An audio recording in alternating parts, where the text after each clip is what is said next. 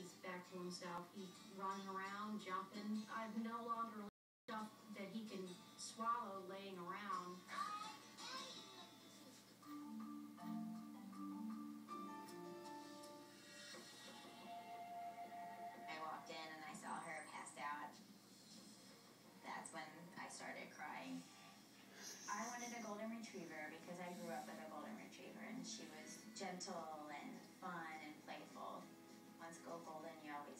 Stay golden.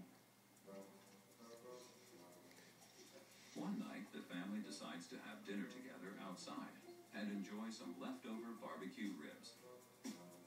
We wanted to kind of give Lulu a treat.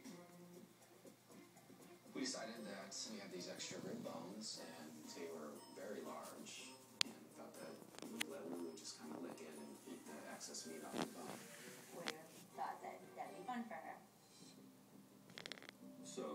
Lulu at their feet, Kristen gives her a big rib bone.